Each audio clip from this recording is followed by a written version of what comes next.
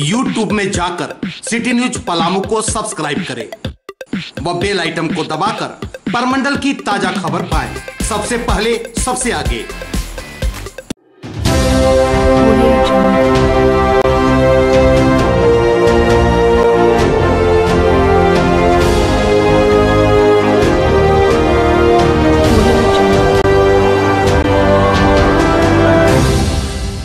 रामनवमी पर्व को लेकर आज बालूमात बारियातू और हिरहन बाज़ार में महावीरी ध्वज की बिक्री जोरों से हुई। इसे लेकर प्रखंड के बाजारों में जगह जगह पर दर्जनों दुकानें सजाई गई, जहाँ राम भक्त महावीरी ध्वज की खरीदारी करते हुए देखे गए।